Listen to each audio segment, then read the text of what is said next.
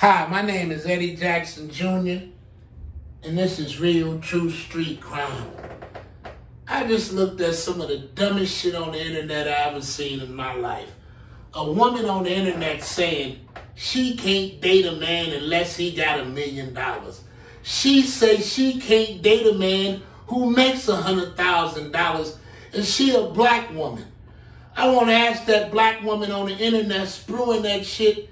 Number one, you're a sack chaser. In my day, we used to call women like that sack chasers.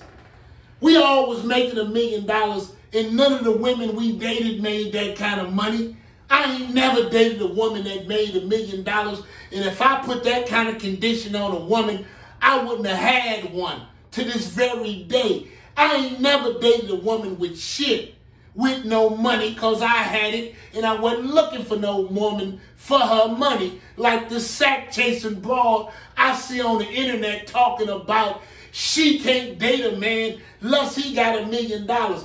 Bitch, do you got a million dollars? And then the nigga who got a million dollars, let me instruct you, sister. He got a whole lot of choices and he might not want your broke ass. Since he got to have a million dollars to have you, he might not want your broke ass. What if the man who got a million dollars make that kind of condition? I don't want a woman unless she make a million dollars. It'll be a whole lot of men making a million dollars out here without women. Because let me explain something to y'all, and I told y'all this once before. I was making a million, handling a million, and playing with a million, and I had seven women, one for every day of the week. That's what millionaires have. They don't have no one woman sitting around. You be sitting around waiting on them. Let's get this twisted. The sister said she can't date a man making a hundred thousand dollars. A man who want a family. A man who want to stay home with her. I understand what Kevin Samuelson was talking about when he talking about those kind of women who make those kind of statements. Do you know how long you may not never find a man with a million dollars? So you ain't going to enjoy your life and have a wonderful family with a man who make a hundred thousand, fifty thousand, and loves you. Gonna be there to help you raise these kids. Not a man who just gonna leave some money there and he ain't never gonna be there to help you raise them kids. Why don't you talk to a whole lot of these rich ladies who done had million and billionaires and see how they turned out. Look at Elizabeth Taylor. She had nine different husbands.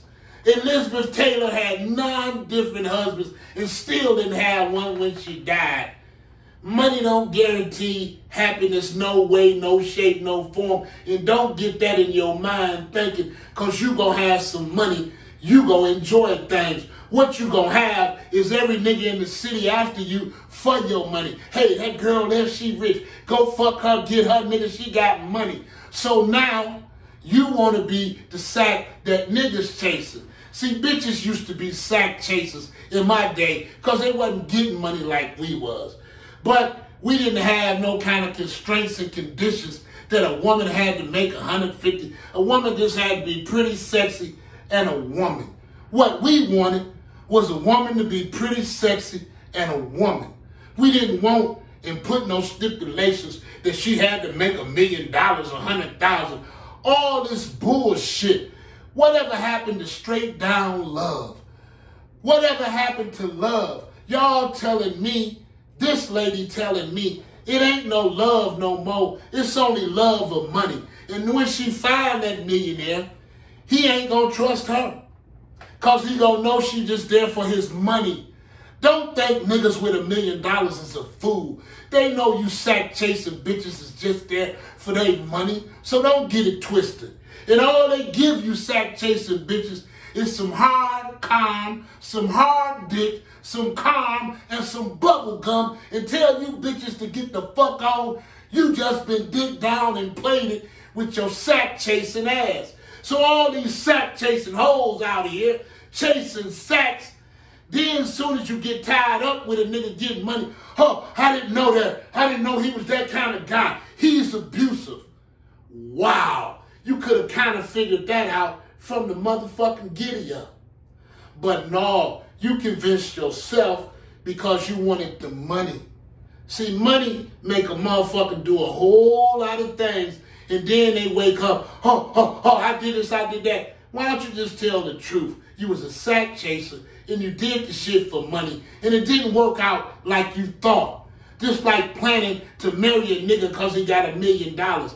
It might not work out like you think, sister, because he might have your ass sign a prenuptial agreement, dick your ass down, and send your ass on with very little.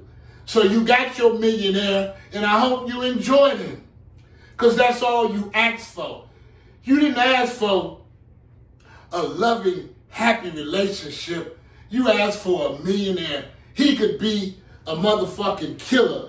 But all you want is he got a millionaire, so that's good enough for me. I didn't ask for anything but him to have a million dollars.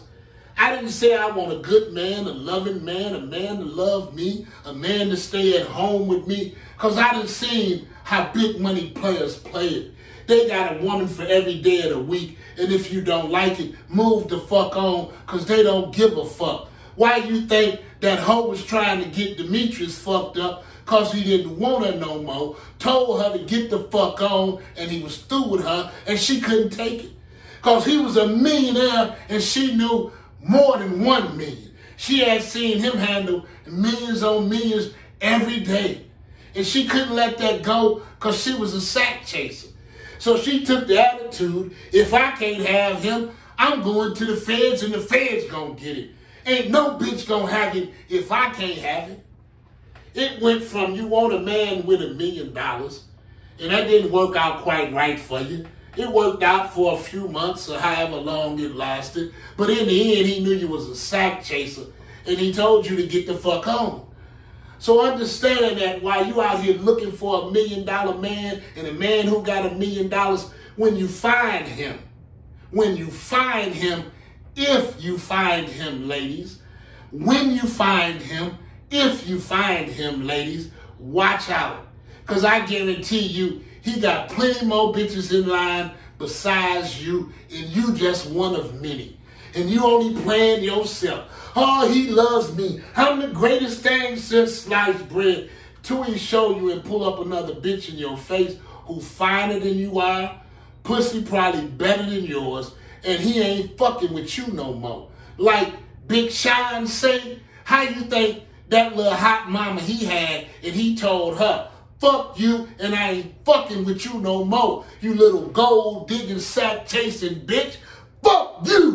I ain't dealing with you no more. All you want is money, bitch. And don't no man want a bitch who don't want nothing but money. Cause once the money gone, that bitch gonna be gone right along with that money. So look out for these sack chasing hoes out here because they out here for men and they want to play like they a good housewife. Don't make a hoe a housewife because it ain't to work. Don't make some of these hoes housewife because you can't make a hoe a housewife. And that's a fact. Ask any niggas that. Can you make a hoe a housewife? That's the question of today. Can you make a hoe a housewife?